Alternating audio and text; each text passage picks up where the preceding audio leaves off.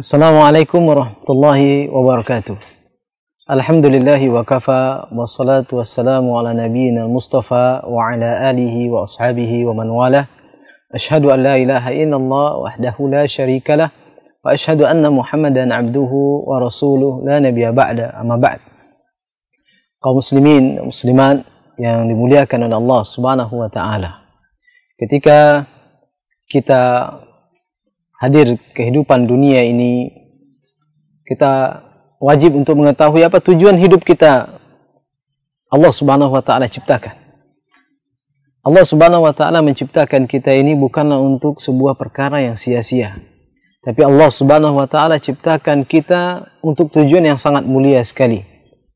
Sebagaimana Allah Subhanahu wa taala berfirman, "Afahasibatum annama khalaqnakum 'abatha wa annakum ilaina la turja'un?" Apakah kalian mengira bahawa kami menciptakan kalian dalam keadaan sia-sia saja tanpa ada tujuan? Padahal kepada kami lah kalian akan dikembalikan. Maka sungguhnya penciptaan manusia ini penciptaan yang sangat agung sekali dan untuk tujuan yang agung pula. Sebagaimana Allah Subhanahu wa taala berfirman dalam Al-Qur'an, "Wa ma khalaqtul jinna wal insa illa liya'budun." Tidaklah aku ciptakan jin dan manusia kecuali untuk beribadah kepadaku.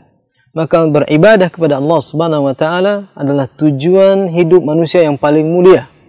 Dan itulah tujuan Allah Subhanahu wa taala menciptakan manusia dalam kehidupan dunia yaitu untuk mentauhidkan Allah Subhanahu wa taala. Dan untuk mengajarkan kita beribadah kepada Allah Allah Subhanahu wa taala mengutus kepada kita seorang rasul yang datang kepada kita untuk mengajarkan kita bagaimana cara kita menyembah Allah Subhanahu wa taala sebagaimana disebutkan oleh Syekh Muhammad At-Tamimi rahimahullah ta'ala dalam kitab beliau Salasatul Usul Anna Allah khalaqana wa razaqana wa lam yatrukna hamala bal arsala ilayna rasula. Faman ata'ahu dakhala jannah wa man asahu dakhala nar Sesungguhnya Allah menciptakan kita Allah memberikan kita rezeki. Tapi Allah tidak meninggalkan kita begitu saja. Tapi Allah mengutus kepada kita seorang rasul apabila kita mengikuti rasul tersebut maka kita akan masuk surga dan siapa yang tidak taat kepada Rasul tersebut, yang dia mengingkari Rasul tersebut, bermaksiat kepada Rasulullah SAW, maka dia pun akan masuk neraka. Maka tujuan hidup yang paling agung yaitu adalah seorang menyerahkan ibadahnya hanya kepada Allah Subhanahu Wa Taala, menjadikan Allah Subhanahu Wa Taala satu-satunya zat yang berhak dia ibadahi. Allah Subhanahu Wa Taala berfirman, wa anna masajida lillahi fala tad'u ma Allahi ahada. Dan sesungguhnya masjid-masjid itu hanyalah milik Allah dan janganlah kalian menyembah Allah Subhanahu wa taala di dalamnya dan di samping itu kalian juga menyembah kepada selain Allah. Maka murnikanlah ibadah kita hanya kepada Allah Subhanahu wa taala. Tauhidkan Allah Subhanahu wa taala dalam setiap peribadahan. Karena Allah yang memberikan kita segala macam fasilitas kehidupan dunia ini. Maka alangkah tidak baiknya penghargaan kita kepada Allah Subhanahu wa taala ketika Allah berikan kepada kita kehidupan fasilitas untuk hidup kemudian kita serahkan ibadah kita hanya kepada selain Allah Subhanahu wa taala. Oleh sebab itu kehidupan kita yang sebentar ini di kehidupan dunia ini yang mana kita hidup di dunia ini tidak akan lama. Maka oleh sebab itu janganlah kita sia-siakan kehidupan kita di kehidupan dunia ini.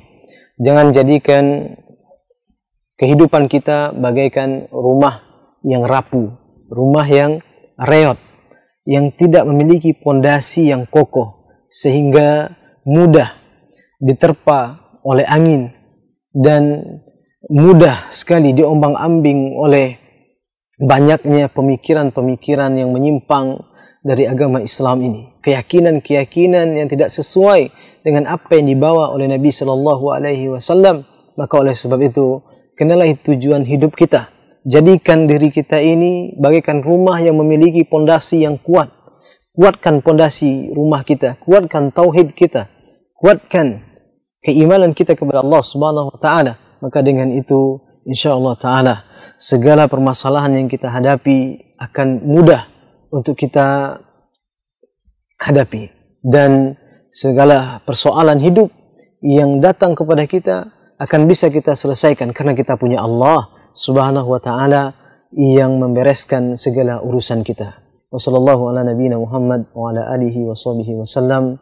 Wassalamualaikum warahmatullahi wabarakatuh. قال رب اشرح لي صدري ويسر لي أمري واحلل عقدة من لساني يفقه قولي Surau TV, inspirasi keluarga Islami.